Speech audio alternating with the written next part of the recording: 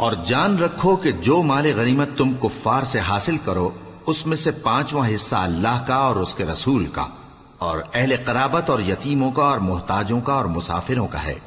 अगर तुम अल्लाह पर और उस नुसरत पर ईमान रखते हो जो हक बातिल में फ़र्क करने के दिन, यानी जंग बद्र में, जिस दिन दोनों फौजों में मुठभेड़ हो गई थी, हमने अपने महबूब बंदे मोहम्मद सल्लल्लाहु अलैहि वसल्लम पर नाजिल फरमाई, और अल्लाह हर चीज़ पर कादिर है। जिस वक्त तुम मदीने से करीब के नाके पर थे और काफिर दूर के नाके पर और काफिला तुमसे नीचे उतर गया था, और अगर तुम जंग के लिए आपस में करारदाद कर लेते तो वक्त मुयन पर जमा होने में तकदीम ताखिर हो जाती। लेकिन अल्लाह को मंजूर था कि जो काम होकर रहने वाला था, उसे कर ही डाले, ताकि जो मरे बसीरत पर, यानी यकीन जानकर मरे, और जो जीता रहे, वो भी बसीरत पर यानी हक पहचान कर जीता रहे। और कुछ शक नहीं कि अल्लाह सुनता है, जानता है। उस वक्त अल्लाह ने तुम्हें ख्वाब में काफिरों को थोड़ी तादाद में दिखाया था, और अगर बहुत करके दिखाता तो तुम लोग जी छोड़ देते, और जो काम दरपेश था उसमें झगड़ने लगते। लेकिन अल्लाह ने तुम्हें उससे बचा लिया। बेशक वो सीनों की बातों तक से वाकिफ है। और उस वक्त जब तुम एक दूसरे के मुकाबिल हुए तो काफिरों को तुम्हारी नज़रों में थोड़ा करके दिखाता था और तुमको उनकी निगाहों में थोड़ा करके दिखाता था ताकि अल्लाह को जो काम करना मंजूर था, उसे कर डाले। और सब कामों का रुजू अल्लाह ही की तरफ़ है। मोमिनो, जब कुफ्फार की किसी जमात से तुम्हारा मुकाबला हो तो साबित कदम रहो और अल्लाह को बहुत बहुत याद करो ताकि मुराद हासिल कर लो। और अल्लाह और उसके रसूल के हुक्म पर चलो और आपस में झगड़ा न करना कि ऐसा करोगे तो तुम बुजदिल हो जाओगे। और तुम्हारी हवा उखड़ जाएगी। और सब्र से काम लो कि अल्लाह सब्र करने वालों का मददगार है। और उन लोगों जैसे न होना जो इतराते हुए, यानी हक का मुकाबला करने के लिए और लोगों को दिखाने के लिए घरों से निकल आए और लोगों को अल्लाह की राह से रोकते हैं और जो अमाल ये करते हैं, अल्लाह उनका इहाता किए हुए है। और जब शैतान ने उनके अमाल उनको आरास्ता कर दिखाए और कहा कि आज के दिन लोगों में से कोई तुम पर गालिब न होगा और मैं तुम्हारा रफीक हूँ। लेकिन जब दोनों फौजें एक दूसरे के मुकाबिल सफारा हुई तो पसपा होकर चल दिया और कहने लगा कि मुझे तुमसे कोई वास्ता नहीं। मैं तो ऐसी चीज़ें देख रहा हूँ जो तुम नहीं देख सकते। मुझे तो अल्लाह से डर लगता है और अल्लाह सख्त अजाब करने वाला है। उस वक्त मुनाफिक और काफिर जिनके दिलों में बीमारी थी, कहते थे कि इन लोगों को इनके दीन ने मगरूर कर रखा है। और जो शख्स अल्लाह पर भरोसा रखता है तो अल्लाह गालिब है, हिकमत वाला है। और काश तुम उस वक्त की कैफियत देखो जब फरिश्ते काफिरों की जाने निकालते हैं कि उनके चेहरों और पीठों पर मारते जाते हैं और कहते हैं, अब आग के अजाब का मज़ा चखो। ये उन अमाल की सजा है जो तुम्हारे हाथों ने आगे भेजी हैं। और ये जान रखो कि अल्लाह बंदों पर जुल्म नहीं करता। जैसा हाल फिरौनियों और उनसे पहले लोगों का हुआ था, वैसा ही इनका हुआ, कि उन्होंने अल्लाह की आयतों से कुफर किया तो अल्लाह ने उनके गुनाहों की सजा में उनको पकड़ लिया। बेशक अल्लाह ज़बरदस्त है, सख्त अजाब देने वाला है। ये इसलिए कि जो नेमत अल्लाह किसी कौम को दिया करता है, जब तक वो खुद अपने दिलों की हालत न बदल डाले, अल्लाह उसे नहीं बदला करता। और इसलिए कि अल्लाह सुनता, जानता है। जैसा हाल फिरौनियों और उनसे पहले लोगों का हुआ था, वैसा ही इनका हुआ। उन्होंने अपने परवरदिगार की आयतों को झुटलाया तो हमने उनको उनके गुनाहों के सबब हलाक कर डाला और फिरौनियों को डुबो दिया, और वो सब जालिम थे। जानदारों में सबसे बदतर अल्लाह के नज़दीक वो लोग हैं जो काफिर हैं, सो वो ईमान नहीं लाते। जिन लोगों से तुमने सुलह का अहद किया है फिर वो हर बार अपने अहद को तोड़ डालते हैं और अल्लाह से नहीं डरते। अगर तुम उनको लड़ाई में पाओ तो उन्हें ऐसी सजा दो कि जो लोग उनके पसे पुष्ट हों, वो उनको देख कर भाग जाएँ। अजब नहीं कि उनको उससे इबरत हो। और अगर तुमको किसी कौम से दगाबाजी का खौफ हो तो उनका अहद उन्हीं की तरफ़ फेंक दो कि इस तरह तुम सब बराबर हो जाओ। कुछ शक नहीं कि अल्लाह दगाबाजों को दोस्त नहीं रखता। और काफिर ये ख्याल हरगिज न करें कि वो आगे निकल गए हैं। वो हमें आजिज नहीं कर सकते। और जहाँ तक हो सके, फौज की जमीयत के ज़ोर से और घोड़ों के तैयार रखने से उनके मुकाबले के लिए मुस्तैद रहो कि इससे अल्लाह के दुश्मनों और तुम्हारे दुश्मनों और उनके सिवा और लोगों पर, जिनको तुम नहीं जानते और अल्लाह जानता है, हैबत बैठी रहेगी और तुम जो कुछ अल्लाह की राह में खर्च करोगे, उसका सवाब तुमको पूरा पूरा दिया जाएगा। और तुम्हारा जरा नुकसान न किया जाएगा। और अगर ये लोग सुलह की तरफ़ मायल हों तो तुम भी उसकी तरफ़ मायल हो जाओ। और अल्लाह पर भरोसा रखो, कुछ शक नहीं कि वो सब कुछ सुनता है, जानता है। और अगर ये चाहें कि तुमको फरेब दें तो अल्लाह तुम्हें किफायत करेगा। वही तो है जिसने तुमको अपनी मदद से और मुसलमानों की जमीयत से तकवीत बख्शी और उनके दिलों में उल्फत पैदा कर दी। और अगर तुम दुनिया भर की दौलत खर्च करते, तब भी उनके दिलों में उल्फत पैदा न कर सकते। मगर अल्लाह ही ने उनमें उल्फत डाल दी। बेशक वो ज़बरदस्त है, हिकमत वाला है। ए नबी, अल्लाह तुमको और मोमिनों को जो तुम्हारे पैरों हैं, काफ़ी है। ए नबी, मुसलमानों को जिहाद की तरगीब दो। अगर तुम में बीस आदमी साबित कदम रहने वाले होंगे तो दो सौ काफिरों पर गालिब रहेंगे। और अगर सौ ऐसे होंगे तो हज़ार पर गालिब रहेंगे। इसलिए कि काफिर ऐसे लोग हैं कि कुछ भी समझ नहीं रखते। अब अल्लाह ने तुम पर से बोझ हल्का कर दिया और मालूम कर लिया कि अभी तुम में किसी कदर कमज़ोरी है। बस अगर तुम में एक सौ साबित कदम रहने वाले होंगे तो वो दो सौ पर गालिब रहेंगे। और अगर एक हज़ार होंगे तो अल्लाह के हुक्म से दो हज़ार पर गालिब रहेंगे। और अल्लाह साबित कदम रहने वालों का मददगार है। पैगंबर को शाया नहीं कि उसके कब्जे में कैदी रहें, जब तक काफिरों को कत्ल करके ज़मीन में कसरत से खून न बहा दे। तुम लोग दुनिया के माल के तालिब हो और अल्लाह आखिरत की भलाई चाहता है और अल्लाह गालिब है, हिकमत वाला है। अगर अल्लाह का हुक्म पहले न हो चुका होता तो जो फिदिया तुमने लिया है, उसके बदले तुम पर बड़ा अजाब नाजिल होता। अब जो मारे गनीमत तुम्हें मिला है, उसे खाओ कि वो तुम्हारे लिए हलाल, तैयब है। और अल्लाह से डरते रहो, बेशक अल्लाह बख्शने वाला है, मेहरबान है। ए पैगंबर जो कैदी तुम्हारे कब्जे में, यानी गिरफ़्तार हैं, उनसे कह दो कि अगर अल्लाह तुम्हारे दिलों में नेकी मालूम करेगा तो जो माल तुमसे छिन गया है, उससे बेहतर तुम्हें इनायत फरमाएगा, और तुम्हारे गुनाह भी मुआफ कर देगा, और अल्लाह बख्शने वाला है, मेहरबान है। और अगर ये लोग तुमसे दगा करना चाहेंगे तो ये पहले ही अल्लाह से दगा कर चुके हैं तो उसने उनको तुम्हारे कब्जे में कर दिया, और अल्लाह दाना है, हिकमत वाला है।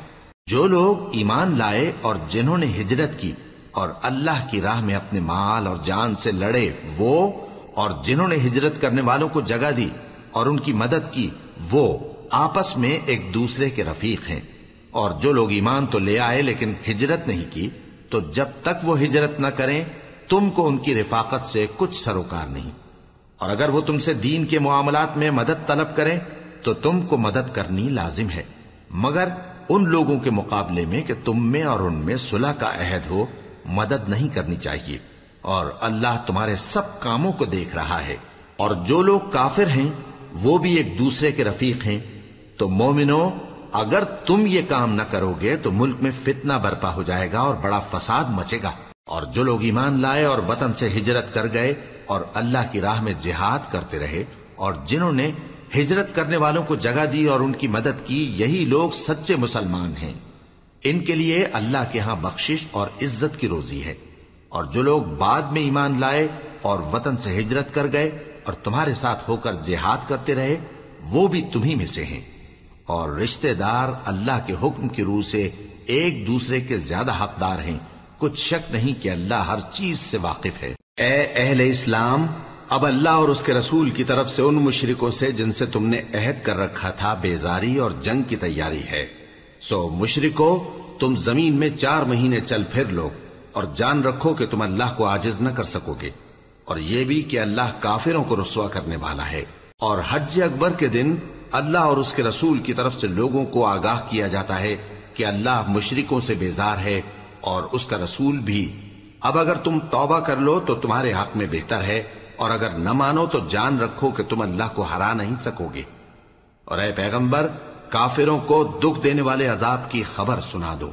अलबत्ता जिन मुशरिकों के साथ तुमने अहद किया हो और उन्होंने तुम्हारा किसी तरह का कसूर न किया हो और न तुम्हारे मुकाबले में किसी की मदद की हो तो जिस मुद्दत तक उनके साथ अहद किया हो, उसे पूरा करो कि अल्लाह परहेजगारों को दोस्त रखता है। बस जब इज़्ज़त के महीने गुजर जाएँ तो मुशरकों को जहाँ पाओ कत्ल कर दो। और उनको पकड़ लो और घेर लो और हर घात की जगह उनकी ताक में बैठे रहो। फिर अगर वो तौबा कर लें और नमाज़ कायम करने और जक़ात देने लगे तो उनका रास्ता छोड़ दो। बेशक अल्लाह बख्शने वाला है, मेहरबान है। और अगर कोई मुशरक तुमसे पनाह का खासगार हो तो उसको पनाह दे दो। यहाँ तक कि वो कलामुल्लाह को सुनने लगे। फिर उसको अमन की जगह वापस पहुँचा दो। इसलिए कि ये बेखबर लोग हैं। भला मुशरिकों के लिए जिन्होंने अहद तोड़ डाला, अल्लाह और उसके रसूल के नज़दीक अहद कैसे कायम रह सकता है?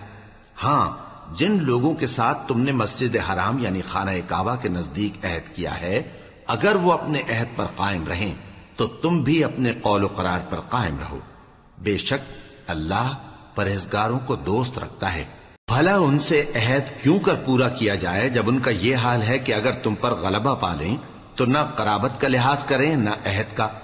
ये मुँह से तो तुम्हें खुश कर देती हैं, लेकिन इनके दिल इन बातों को कबूल नहीं करते, और इनमें अक्सर नाफरमान हैं। ये अल्लाह की आयतों के एवज थोड़ा सा फ़ायदा हासिल करते और लोगों को अल्लाह के रस्ते से रोकते हैं। कुछ शक नहीं कि जो काम ये करते हैं बुरे हैं।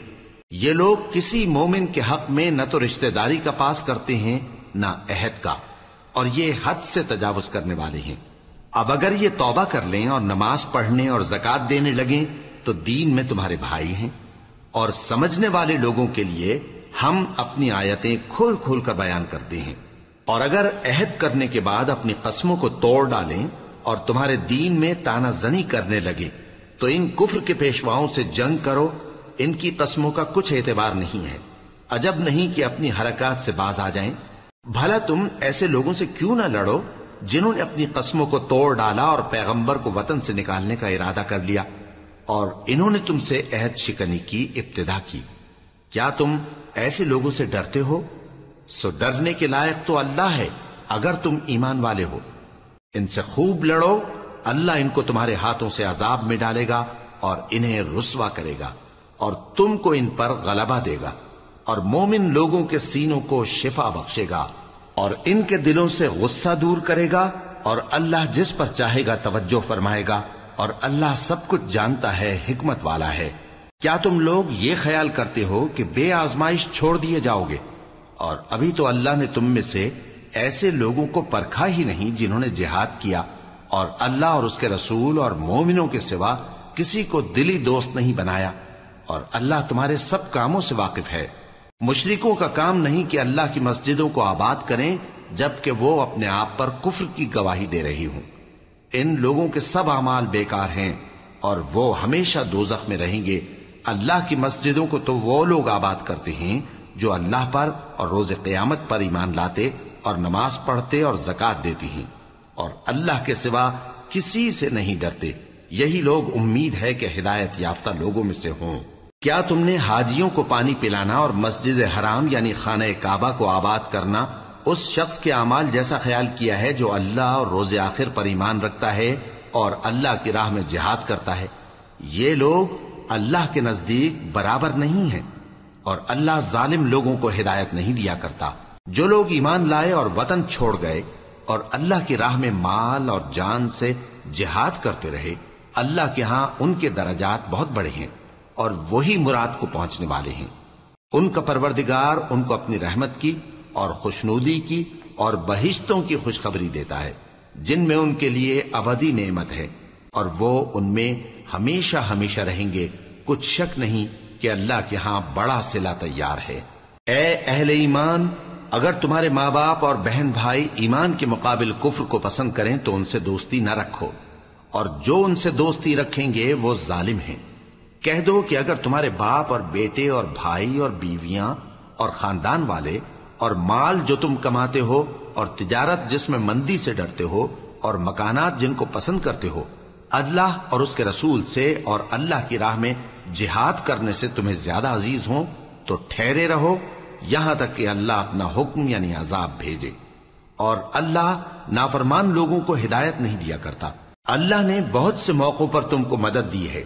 और जंग हुनैन के दिन, जबकि तुमको अपनी जमात की कसरत पर गुर्रा था तो वो तुम्हारे कुछ भी काम ना आई, और ज़मीन बावजूद अपनी फराखी के तुम पर तंग हो गई, फिर तुम पीट फेर गए। फिर अल्लाह ने अपने पैगंबर पर और मोमिनों पर अपनी तरफ़ से तस्की नाजिल फरमाई, और तुम्हारी मदद को फरिश्तों के लश्कर, जो तुम्हें नज़र नहीं आते थे, आसमान से उतारे और काफिरों को अजाब दिया। और कुफ्र करने वालों की यही सजा है। फिर अल्लाह उसके बाद जिस पर चाहे मेहरबानी से तवज्जो फरमाए और अल्लाह बख्शने वाला है, मेहरबान है। मोमिनो, मुशरिक तो पलीद हैं तो इस बरस के बाद वो मस्जिद हराम यानी खाना काबा के पास न जाने पाए, और अगर तुमको मुफलिसी का खौफ हो तो अल्लाह चाहेगा तो तुमको अपने फजल से गनी कर देगा। बेशक अल्लाह सब कुछ जानता है, हिकमत वाला है। जो लोग अहले किताब में से अल्लाह पर ईमान नहीं लाते और न रोज़े आखिर पर यकीन रखते हैं और न उन चीज़ों को हराम समझते हैं जो अल्लाह और उसके रसूल ने हराम किए हैं और न दीन हक को कबूल करते हैं। उनसे जंग करो, यहाँ तक के जलील होकर अपने हाथ से जिजिया देने लगे। और यहूद कहते हैं कि उजैर अल्लाह के बेटे हैं और ईसाई कहते हैं कि मसीह अल्लाह के बेटे हैं। ये इनके मुँह की बातें हैं। पहले काफिर भी इसी तरह की बातें कहा करते थे। ये भी उन्हीं की रीस करने लगे हैं। अल्लाह इनको हलाक करे, ये कहाँ बह के फिरते हैं? इन्होंने अपने उलमा और मशाइ और मसीह इब्न मरियम को अल्लाह के सिवा मबूद बना लिया। हालाँकि इनको यह हुक्म दिया गया था कि माबूद वाहिद के सिवा किसी की इबादत ना करें। उसके सिवा कोई मबूद नहीं। और वो इन लोगों के शरीक मुकर्र करने से पाक है। ये चाहते हैं कि अल्लाह के नूर को अपने मुँह से फूंक मारकर बुझा दें। और अल्लाह अपने नूर को पूरा किए बगैर रहने का नहीं, अगरचे काफिरों को बुरा ही लगे। वही तो है जिसने अपने पैगंबर को हिदायत और दीन हक देकर भेजा, ताकि इस दीन को दुनिया के तमाम दीनों पर गालिब करे, अगरचे काफिर नाखुश ही हों। मोमिनो, अहले किताब के बहुत से आलिम और मशाइ लोगों का माल नाहक खाते और उनको अल्लाह की राह से रोकते हैं, और जो लोग सोना और चांदी जमा करते हैं और उसको अल्लाह के रस्ते में खर्च नहीं करते। उनको उस दिन के अजाब अलीम की खबर सुना दो। जिस दिन वो माल दोजख की आग में खूब गर्म किया जाएगा, फिर उससे उन वकीलों की पेशानियाँ और पहलू और पीठें दागी जाएँगी। और कहा जाएगा कि ये वही है जो तुमने अपने लिए जमा किया था।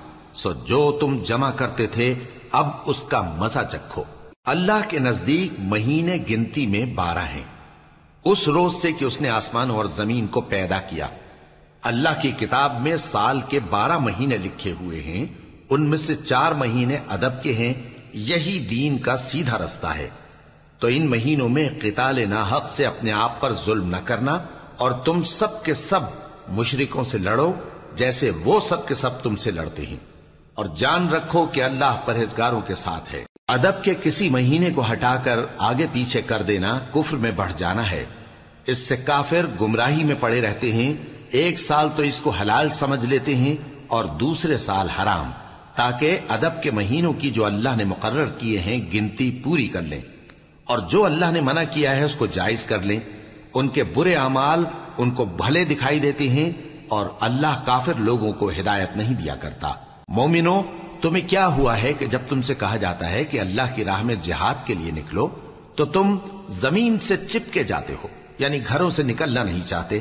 क्या तुम आखिरत की नेमतों को छोड़कर दुनिया की ज़िंदगी पर खुश हो बैठे हो? सो दुनिया की ज़िंदगी के फ़ायदे तो आखिरत के मुकाबिल बहुत ही कम है।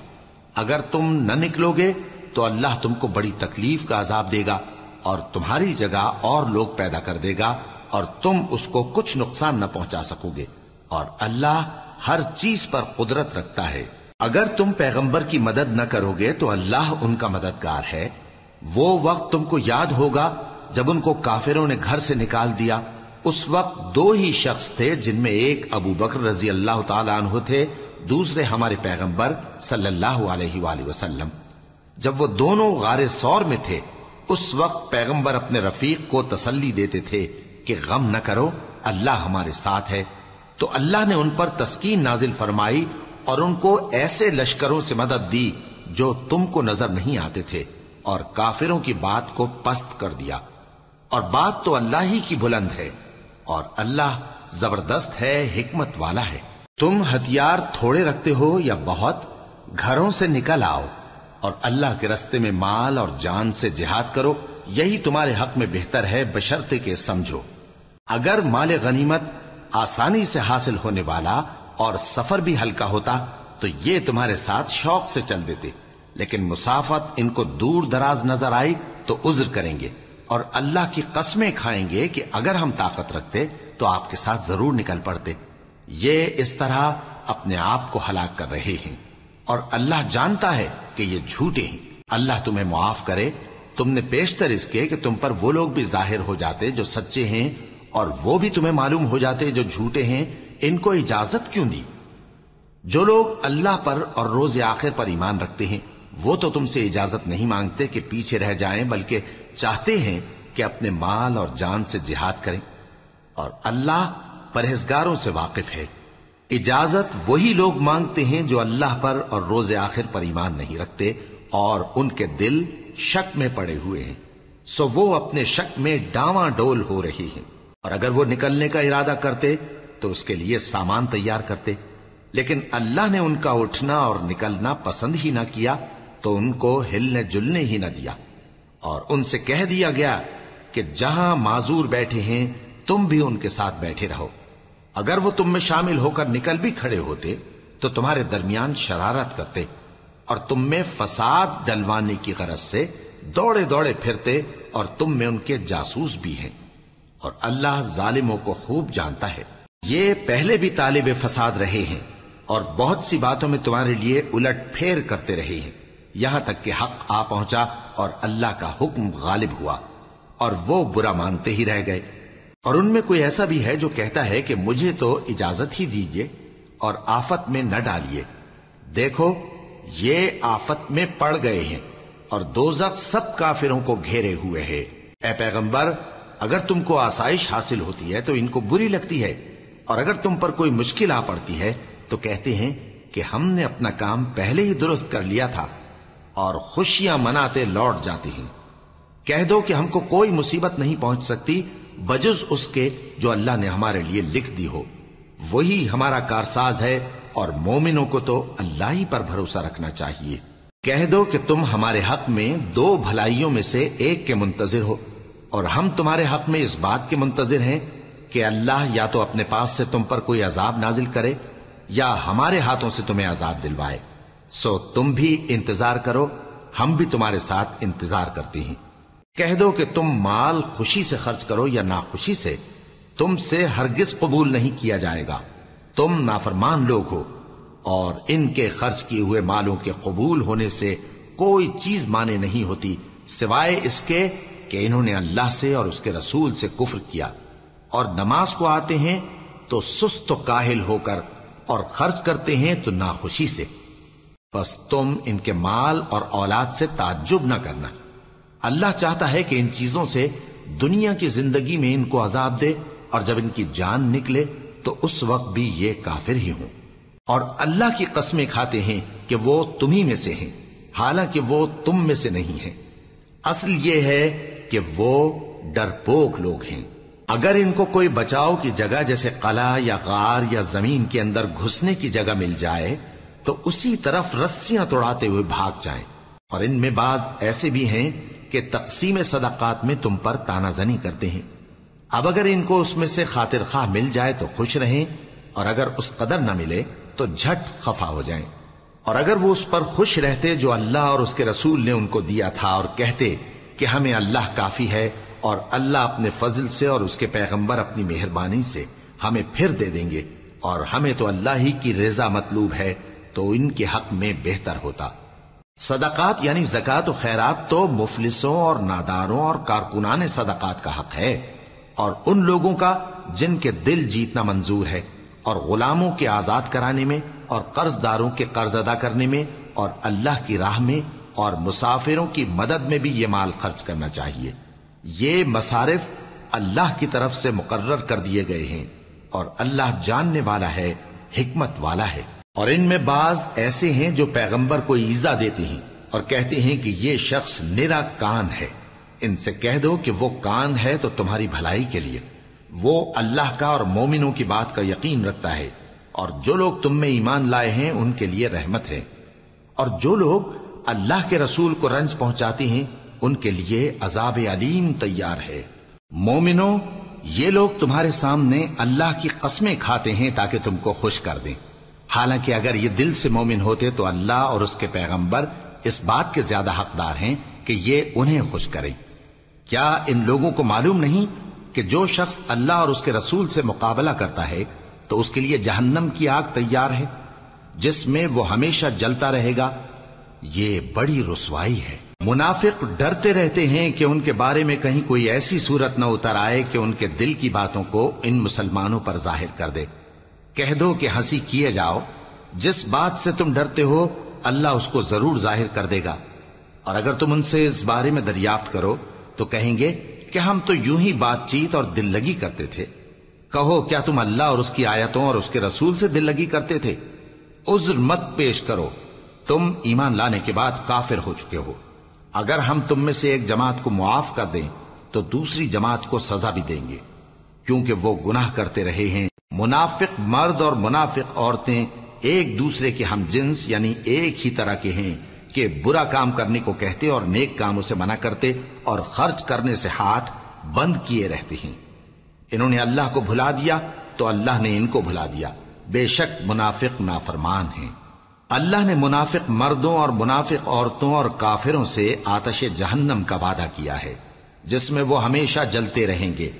वही उनको काफ़ी है और अल्लाह ने उन पर लानत कर दी है और उनके लिए हमेशा का अजाब तैयार है। तुम मुनाफिक लोग उन लोगों की तरह हो जो तुमसे पहले हो चुके हैं। वो तुमसे ज़्यादा ताकतवर और माल औलाद में कहीं ज़्यादा थे तो वो अपने हिस्से से फ़ायदा उठा चुके सो जिस तरह तुमसे पहले लोग अपने हिस्से से फ़ायदा उठा चुके हैं, उसी तरह तुमने अपने हिस्से से फ़ायदा उठा लिया। और जिस तरह वो बातिल में डूबे रहे, उसी तरह तुम बातिल में डूबे रहे। ये वो लोग हैं जिनके अमाल दुनिया और आखिरत में जाया हो गए और यही नुकसान उठाने वाले हैं। क्या इनको उन लोगों के हालात की खबर नहीं पहुँची जो इनसे पहले थे? यानी नूह और आद और समूद की कौम और इब्राहिम की कौम और मदियन वाले और उल्टी हुई बस्तियों वाले, उनके पास पैगंबर निशानियाँ लेकर आए। और अल्लाह तो ऐसा न था कि उन पर जुल्म करता, लेकिन वही अपने आप पर जुल्म करते थे। और मोमिन मर्द और मोमिन औरतें एक दूसरे के दोस्त हैं कि अच्छे काम करने को कहते और बुरी बातों से मना करते और नमाज़ पढ़ते और जक़ात देते और अल्लाह और उसके पैगंबर की इतात करते हैं। यही लोग हैं जिन पर अल्लाह रहम करेगा। बेशक अल्लाह गालिब है, हिकमत वाला है।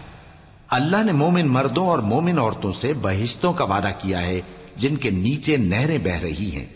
वो उनमें हमेशा रहेंगे और अबदी बहिश्तों में नफीस मकानात का वादा किया है। और अल्लाह की रजामंदी तो सबसे बढ़कर नेमत है। यही बड़ी कामयाबी है। ए पैगंबर, काफिरों और मुनाफिकों से जिहाद करो और इन पर सख्ती करो, और इनका ठिकाना दोजख है। और वो बुरी जगह है। ये अल्लाह की कस्में खाते हैं कि इन्होंने तो कुछ नहीं कहा। हालाँकि इन्होंने कुफ्र का कलिमा कहा है और ये इस्लाम लाने के बाद काफिर हो गए हैं और ऐसी बात का कस्त कर चुके हैं जिस पर कुदरत नहीं पा सके। और इन्होंने मुसलमानों में ऐब ही कौन सा देखा है सिवाय इसके कि अल्लाह ने अपने फजल से और उसके पैगंबर ने अपनी मेहरबानी से उनको दौलतमंद कर दिया है। सो अगर ये लोग तौबा कर लें तो इनके हक में बेहतर होगा। और अगर मुँह फेर लें तो अल्लाह इनको दुनिया और आखिरत में दुख देने वाला अजाब देगा और ज़मीन में इनका कोई दोस्त और मददगार न होगा। और इनमें बाज ऐसे हैं जिन्होंने अल्लाह से अहद किया था कि अगर वो हमको अपनी मेहरबानी से माल अता फरमाएगा तो हम ज़रूर खैरात किया करेंगे और नेकूकारों में हो जाएँगे। लेकिन जब अल्लाह ने उनको अपने फजल से माल दिया तो उसमें बुखल करने लगे और अपने अहद से रूगरदानी करके फिर बैठे। तो अल्लाह ने उसका अंजाम यह किया कि उस रोज तक के लिए जिसमें ये अल्लाह के रूबरू हाजिर होंगे, इनके दिलों में निफाक डाल दिया। इसलिए कि इन्होंने अल्लाह से जो वादा किया था, उसके खिलाफ किया, और इसलिए कि ये झूठ बोलते थे। क्या इनको मालूम नहीं कि अल्लाह इनके भेदों और मशवरों तक से वाकिफ है? और ये कि अल्लाह गैब की बातें जानने वाला है। जो मुसलमान दिल खोलकर खैरात करते हैं, और जो बेचारे गरीब सिर्फ़ उतना ही कमा सकते हैं जितनी मजदूरी करते और थोड़ी सी कमाई में से भी खर्च करती हैं।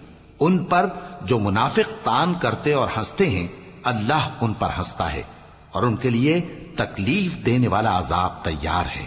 तुम इनके लिए बख्शिश मांगो या ना मांगो बराबर है। अगर इनके लिए सत्तर दफ़ा भी बख्शिश मांगोगे तो भी अल्लाह इनको नहीं बख्शेगा। ये इसलिए कि इन्होंने अल्लाह और उसके रसूल से कुफर किया और अल्लाह नाफरमान लोगों को हिदायत नहीं देता। जो लोग गजवाए तबूक में पीछे रह गए, वो अल्लाह के पैगंबर की मर्ज़ी के बरखिलाफ बैठ रहने से खुश हुए और इस बात को नापसंद किया कि अल्लाह की राह में अपने माल और जान से जिहाद करें और दूसरों से भी कहने लगे कि गर्मी में मत निकलना। इनसे कह दो कि दोजख की आग इससे कहीं ज़्यादा गर्म है। काश ये इस बात को समझते। ये दुनिया में थोड़ा सा हंस लें और आखिरत में इनको इनके अमाल के बदले जो ये करते रहे हैं, बहुत सा रोना होगा। फिर अगर अल्लाह तुमको इनमें से किसी गिरोह की तरफ़ ले जाए और वो तुमसे निकलने की इजाज़त तलब करें तो कह देना कि तुम मेरे साथ हरगिज नहीं निकलोगे और न मेरे साथ मददगार होकर दुश्मन से जंग करोगे। तुम पहली दफ़ा बैठ रहने से खुश हुए तो अब भी पीछे रहने वालों के साथ बैठे रहो। और अय पैगंबर, इनमें से कोई मर जाए तो कभी उसके जनाजे पर नमाज़ न पढ़ना और न उसकी कब्र पर जाकर खड़े होना। ये अल्लाह और उसके रसूल के साथ कुफ्र करते रहे और मरे भी तो नाफरमान ही मरे। और इनके माल और औलाद से ताज्जुब न करना। इन चीज़ों से अल्लाह ये चाहता है कि इनको दुनिया में अजाब करे और जब इनकी जान निकले तो उस वक्त भी ये काफिर ही हूँ। और जब कोई सूरत नाजिल होती है कि अल्लाह पर ईमान लाओ और उसके रसूल के साथ होकर जिहाद करो तो जो इनमें दौलतमंद हैं, वो तुमसे इजाज़त तलब करती हैं। और कहते हैं कि हमें तो रहने ही दीजिए कि हम बैठ रहने वालों के साथ हो जाएँ। ये इस बात से खुश हैं कि औरतों के साथ जो पीछे रह जाती हैं, घरों में बैठ रहे इनके दिलों पर मोहर लगा दी गई है, सो ये समझते ही नहीं। लेकिन पैगंबर और जो लोग इनके साथ ईमान लाए, सब अपने माल और जान से लड़े। इन्हीं लोगों के लिए भलाइयाँ हैं और यही मुराद पाने वाले हैं। अल्लाह ने इनके लिए बागात तैयार कर रखे हैं जिनके नीचे नहरें बह रही हैं, हमेशा उनमें रहेंगे यही बड़ी कामयाबी है। और सहरा नशीनों में से भी कुछ लोग उज्र करते हुए तुम्हारे पास आए कि उनको भी इजाज़त दी जाए, और जिन्होंने अल्लाह और उसके रसूल से झूठ बोला, वो घर में बैठ रहे। सो जो लोग उनमें से काफिर हुए हैं, उनको दुख देने वाला अजाब पहुंचेगा। न तो जयीफों पर कुछ गुना है और न बीमारों पर, और न उन पर जिनके पास खर्च मौजूद नहीं के शरीक जिहाद हों। यानी जबकि अल्लाह और उसके रसूल से मुखलिस हों, नेकूकारों पर किसी तरह का इल्ज़ाम नहीं है। और अल्लाह बख्शने वाला है, मेहरबान है। और न उन बेसरो सामान लोगों पर इल्ज़ाम है कि जो तुम्हारे पास आए कि उनको सवारी दो। और तुमने कहा कि मेरे पास कोई ऐसी चीज़ नहीं जिस पर तुमको सवार करूँ तो वो लौट गए। और इस गम से कि उनके पास खर्च मौजूद न था, उनकी आँखों से आँसू बह रहे थे। इल्ज़ाम तो उन लोगों पर है जो दौलतमंद हैं और फिर तुमसे इजाज़त तलब करते हैं। यानी इस बात से खुश हैं कि औरतों के साथ जो पीछे रह जाती हैं, घरों में बैठ रहे हैं। अल्लाह ने उनके दिलों पर मोहर कर दी है, बस वो समझते ही नहीं।